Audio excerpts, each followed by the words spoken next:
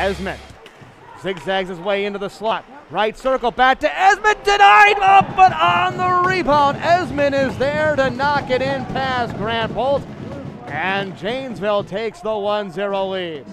Wisconsin high school hockey, many of them in western Wisconsin because of the little storm we've had. Were postponed. Oh, a puck played in front and one time pass Grant Bolt, and Janesville has the 2-0 lead.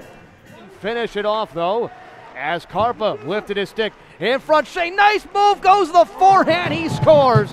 All with mitts as smooth as Milt's famous chocolate. Charlie Shane dangles through a couple of steel players and then finishes off Grant Bolt.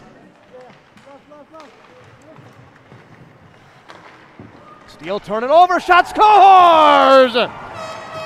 Spencer Cox takes advantage as the Steel create the turnover, and Cox scores over the shoulder of Eli Bowers. Yonda, sidewall, high slot Black, Black waits, shot scores! Michael Black from the high slot, and with 7.30 to go, it's now a one goal hockey game. Baker to McGrath. McGrath back wall. McGrath out to the blue line. Cox, 10 seconds.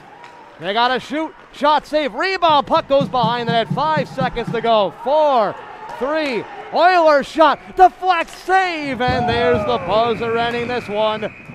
The Janesville Jets hold on and win here tonight by the final score of 3 to 2. The Steel try to mount a late rally in this one. Once down 3 0, they score twice in the third, but Janesville picks up the win.